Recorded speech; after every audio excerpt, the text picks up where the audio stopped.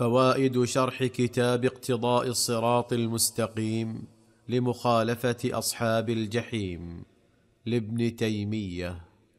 قال المؤلف رحمه الله تعالى وقوله ولا يصلي صلاة هؤلاء يريد ما سبق ذكره في حديث سماك بن حرب في صحيح مسلم قال سألت جابر بن سمرة عن صلاة النبي صلى الله عليه وسلم فقال كان يخفف الصلاة ولا يصلي صلاة هؤلاء.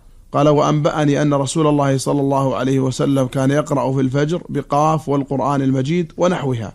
قال قوله ولا يصلي صلاة هؤلاء إما أن يريد به.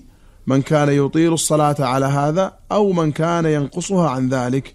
أي أنه كان صلى الله عليه وسلم يخففها ومع ذلك فلا يحذفها حذف هؤلاء الذين يحذفون الركوع والسجود والاعتدالين. بسم الله الرحمن الرحيم.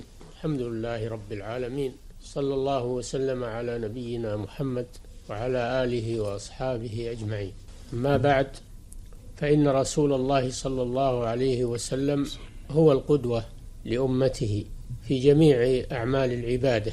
قوله تعالى لقد كان لكم في رسول الله أسوة حسنة صلى الله عليه وسلم. ولقوله صلى الله عليه وسلم في الصلاة بالذات صلوا كما رأيتموني وصل يصلي تقدم في وصف صلاته صلى الله عليه وسلم أنه كان يخففها مع الإتمام وكان يصلي صلاة متناسبة في قيامها وفي ركوعها وسجودها والجلوس بين والجلوس بين السجدتين والاعتدال من الركوع.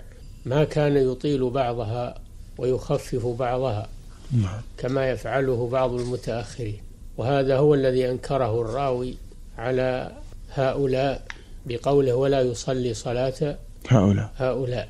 فإن منهم من يطيل إطالة مخالفة لإطالة الرسول صلى الله عليه وسلم ويزيد في الإطالة ومنهم من يخففها تخفيفا زائدا عن تخفيف الرسول صلى الله عليه وسلم فيكون مخلا بالصلاة. فهو إذا أطال إطالة كثيرة شق على المأمومين وإذا خفف الصلاة تخفيفا كثيرا فإنه يخل بالصلاة والاعتدال هو الخير يراعي أحوال المأمومين ويراعي إتمام الصلاة. الصلاة وهذا هديه صلى الله عليه وسلم.